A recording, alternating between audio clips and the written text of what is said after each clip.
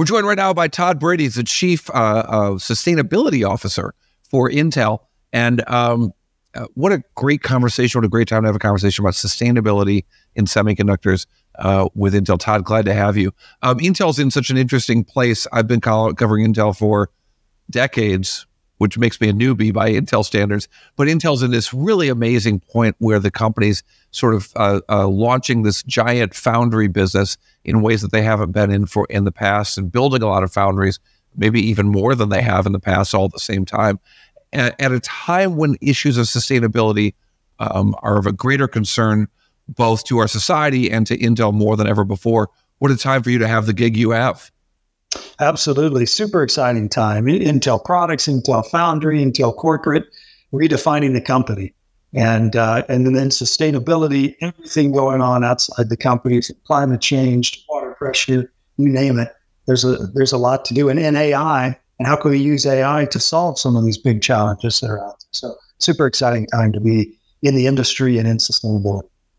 And over the next seven hours that we talk, we're going to get through all those topics. No, it won't be seven hours. Um, so uh, let's start with a few of these. So one of the things that I think is is um, most amazing. I don't even know where to start with amazing when it comes to semiconductor um, uh, manufacturing, but the time frame, the the pace of innovation is incredible, uh, particularly right now, um, and it has been for a long time. But really, right now, in very amazing ways, AI uh, driving a lot of that, both for AI and because of AI but the planning involved in creating the facilities to make semiconductors stretches out into decades. And our understanding of climate change and um, uh, the the things that we do that pollute and the things we can do to keep from polluting um, are changing so rapidly. How do you take a 15, 20 year process and and plan for the latest advances that may be five or 10 years away? Yeah, you, you, know, it's, it's one of the challenges that we have in such a dynamic industry. Whatever we think we're going to do today, last forward five, ten years, guess what? The, whole environment's changed. Um, so one of the things that we've done in order to anchor ourselves into the future is, uh, you know, years ago, I, I think we published. I, I, joined Intel in 1995. In 1994, we published our first, you know, corporate responsibility report where we put out environmental goals. And back then, they were annual goals that we'd set each year. Uh, one of the things that I, I did when I came into my position said, hey, we need to look longer term. We need to have these anchors in the future, these north stars that we're that we are moving towards, because there's going to be so much dynamic change year to year. And so we established decade long goals. Uh, we did that first in 2010, set goals through 2020, then did that again in 2020 and set those goals through 2030, even 2040, 2050. Those goals would include things such as net zero greenhouse gases, zero waste to landfill, net positive water. But these are big, audacious goals that get us that North Star. So no matter what's going on day to day, year to year, we know where we're headed. And that's been very helpful in grounding us in our strategy. So let's, uh, speak of ground, let's talk about water. Why don't we start there? Um, what did water use look like for semiconductor manufacturing in 1990? And what's it going to look like in, in 2030? Yeah, the, the biggest use of water in semiconductor manufacturing is ultra pure water. Uh, the water that's used to rinse off the surface of the wafer in between the hundreds of different process steps that you have. And uh, back when, when I first started working on that years and years ago, state of the art technology for ultra pure water was it would take about two gallons of, of tap water, the water you're getting from the city, the municipality, to produce one gallon of ultra pure water. So about a 50% efficiency. And fast forward to today, we're over 90% efficient. So about 1.1 gallon of tap water to, one gallon of ultra pure water. And so that's the first step is how do you use that resource more efficiently because we're going to need more and more of it as, uh, as we move forward. Number two then is, okay, can you reclaim and reuse that water? And so we've invested heavily in our manufacturing operations all around the, the world in state of the art water reclaim facilities where we use the water in our manufacturing, the ultra pure water. We collect that water, we treat it, we send it back for reuse in our operations. And then the third part of our strategy and, and the way that we get to net zero water, net positive water, then again, the concept is for every water gallon of water we're extracting from a watershed, we want to return a gallon or more of water. And so uh, I, I walk through the first two steps, use it more efficiently, then reuse it over and over again. And then the third part is invest outside the company in the communities in which we operate to put water back into lo- the local watersheds. An example would be working with the, the, the local farmer agricultural industry, which uses 75% of the water in many places around the world where we operate. If we can help them be more efficient, that results in more water back to the aquifer. And so we've been able to achieve that now in four countries US, India, Costa Rica, Mexico. So, you know, again, looking ahead, looking strategically, what do we want to accomplish as a company? When we have that North Star, we can then put the strategy in place to achieve it. That's pretty amazing. Um, it's it. What about building materials and how uh, that's changed? Again, and I, and I, I mentioned change because I think that well, all of us started before today, and so we remember a time when things are different, and it's hard to not want to make uh, make things the way they were and think about how they can be in the future. Yeah, yeah. Several years ago, when when we were building our buildings and going through a, a growth spurt, this was you know a decade or so ago. Um, we began looking at what, what's called the U.S. Green Building Council LEED standards, and, and these are you see these a lot in office buildings and whatnot, right? This this building is, is LEED Platinum, LEED Gold, et cetera. And uh, we actually went to the U.S. Green Building Council and said, "Hey, we would like to develop standards for manufacturing facilities as well. They didn't exist at the time uh, because they had written their standards around a, an office building in New York City, as an example, not a semiconductor. And so, well, no, I built a LEED house once. That was, oh, you, you know, that okay, was, yeah, that was a thing, right? It was, and it was, there were strange things we had to do and obvious things we had to do to hit that certification level. Exactly. So we took that framework and said, how can we apply that to a manufacturing facility? And so we actually worked with the U.S. Green Building Council. We, we had a committee of other manufacturers from a wide variety of different industries and came up with standards on how to apply that, that thinking, that LEED thinking, which is essentially how do we design the building to be more energy efficient, to be more water efficient, to um, you know generate less waste, those kinds of things. And so we've integrated that into all of the construction which we have going on all around the world today in building LEED factories, which then at the end of the day result in factories which reduce our costs because we're using less electricity, as an example. So it, it's really been a win-win in focusing on that design from the ground up.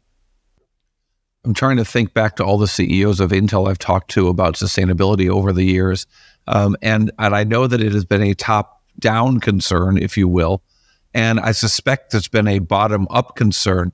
But how do you get buy-in to an organization whose goals and to individuals whose goals are just not just like sell more stuff, get higher prices, do it cheaper, faster, better, um, get to work on time. Uh, you know, all, all, all of the all of the uh, things that we're trying to do, uh, or the the people at the company are trying to do. How do you get people bought it, buying into sustainability? Yeah, yeah, I mean, it's a great point. There's so many priorities within any company. So how do you get focus? So, so one thing I would say is I've been very fortunate in that joining Intel almost 30 years ago. This this ethos, this cre- uh, credo in sustainability and and building with the environment in mind was was there. The foundation was there. Uh, Gordon Moore was was very much an environmentalist, and you know, making sure absolutely he was our, one of our founders. Um, uh, the the uh, author of Moore's Law, uh, after retiring from Intel, he started up his own foundation, which is all focused around environmental, uh, yep. the Gordon Moore Foundation. Uh, and, and, so he, he created that, that, that bedrock, that foundation. So that that was hugely beneficial. Um, and and then you had individuals within the company uh, when I first joined who were you know leading manufacturing and, and had that belief in we can we can grow but we can reduce our impact as we grow and that's what we should be doing. So so I can't take credit for any of that. That was there. I latched on to it and said, okay, how do we how do we take things slow and slow? Um, one of the ways that we've been able to focus people's attention is, quite frankly, tying sustainability to everyone's pocketbook, everybody's bonus.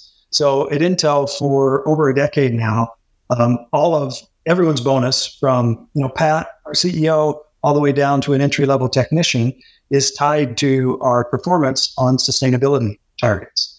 And we have those uh, that, that we implement every year.